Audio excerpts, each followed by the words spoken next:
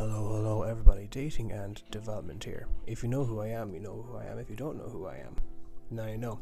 And a very warm welcome to you all. And guess what? Before we get started, it's sponsor time. Ow! Ow! Ow! This is hurting my hands! Wow, wow, wee, wow. Now let's discuss no contact a bit more. Now, a quick recap of no contact.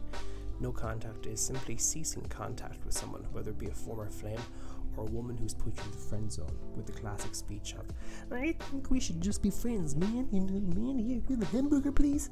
Hamburger. Well, I hope she doesn't say hamburger, please, unless she's, you know, filthy frank.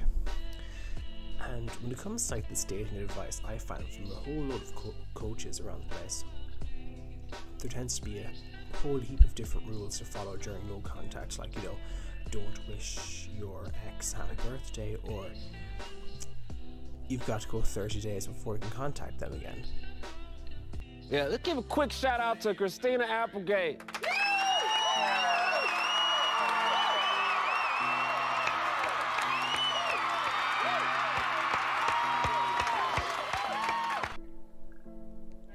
But I want to talk about 30 day rule before getting into contact again. And why would you wait 30 days? You know, why would you wait at all? They left you. They're probably onto someone else now, so why should you wait? Sorry to be the bearer of bad news. But women can get over men a whole lot quicker. Depending on the man now, mind you. Women can get over men a whole lot quicker than men can get over women. I find anyways. Depending on the man the woman. But usually the woman will have a new man lined up in about a week. And it could be the case where it's uh, you know, you're blindsided. I won't get that into that in a second actually. And they made a choice. You don't owe the person the decency to reach out to them. So should you wait 30 days to reach out to them? You shouldn't. Should you wait 60 days, 4 hours, and if you're bald, wait for your hairline to come back in? No. No, no, no. You should go no contact indefinitely. As I said, they made the choice to leave you. Why would you accept them back? You're meant to be out living your life and working on your mission, whatever that may be. Whatever that may be. Made a bit of a doozy there. And you see, I find that once no contact starts, and you're improving yourself, and it gets to a stage where you are attracting better women, you would want to give that person the time of day. You find that you get into such a stage with yourself that you've come on a whole lot more than you used to be. You don't want to give that person the time of day anymore. And I know I was talking some about something back there too. About them being someone else, and the more likely it. And that's what I want to talk about. Men can be in relationships, and all of a sudden, one will say, "I want it to end," and the man scratching his head, scratching his head, thinking, "What? what why?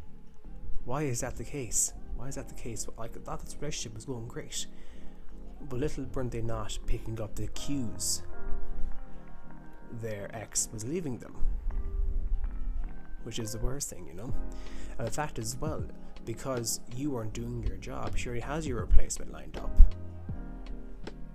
And she's over you in about a week or two weeks. It happens, guys. I won't be mad at women, just do it because they, have, they always have backups. They tend to have backups. Not all women do, but a lot do. And to leave you off with this, I think it's important to remember this. You're better off investing in new prospects in trying to rekindle something broken. So if someone left you and they're trying to come back, why would you try to rekindle it? You're better off with a new prospect, with the new knowledge you know, and build something new from there. So TLDR, you should be in no contact indefinitely. You may never hear from that person again. And you know what? Maybe that's for the best. So that's all for the video.